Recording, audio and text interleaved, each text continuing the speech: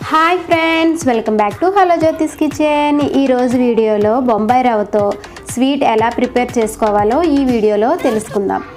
మామూలుగా మనం బొంబాయి రవ్వతోటి హల్వా చేసుకుంటూ ఉంటాం కండి.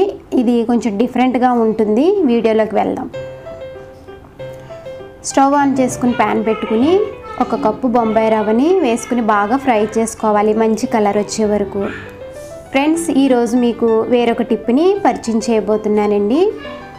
బొంబాయి రవ్వ మనం ఎక్కువ తెచ్చుకుంటే అది స్టోరేజ్ ఎలా చేసుకోవాలంటే ఫ్రై చేసుకుని దాన్ని బాగా ఆరబెట్టుకుని డబ్బాలో వేసుకుంటే ఒకటి నుంచి రెండు నెలల వరకు పాడవకుండా పురుగు పట్టకుండా ఉంటుంది.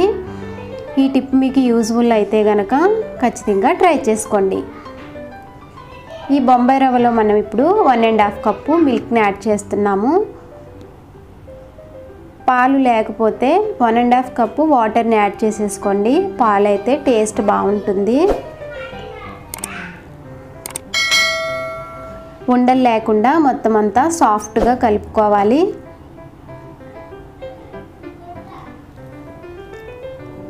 అలాగే ఇందులో ఒక కప్పు షుగర్ని యాడ్ చేస్తున్నాను. షుగర్ కూడా బాగా కలిసేలాగా ఉండలు లేకుండా ముద్ద ముద్దలుగా కాకుండా బాగా కలుపుకోవాలి ప్రెస్ చేస్తున్నట్టు కలుపుకోవాలి మొత్తం అంతా. నెక్స్ట్ ఇందులో కొబ్బరి పౌడర్ని యాడ్ చేస్తున్నానండి. టూ టేబుల్ స్పూన్ కొబ్బరి పౌడరు. కొబ్బరి పౌడర్ వల్ల కమ్మదనం వస్తుంది.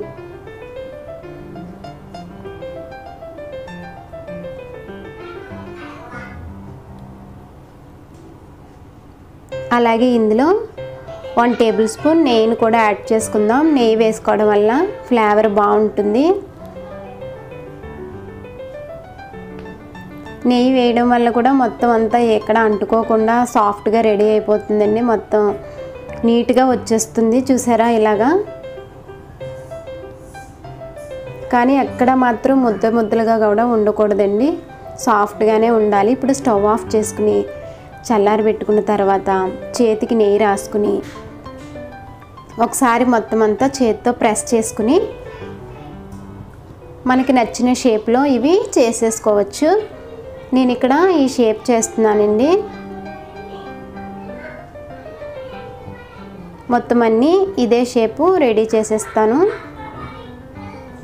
ఇప్పుడు ఇదే ప్యాన్లో రెండు టేబుల్ స్పూన్ల షుగర్ని యాడ్ చేసి హాఫ్ కప్పు వాటర్ యాడ్ చేయాలి.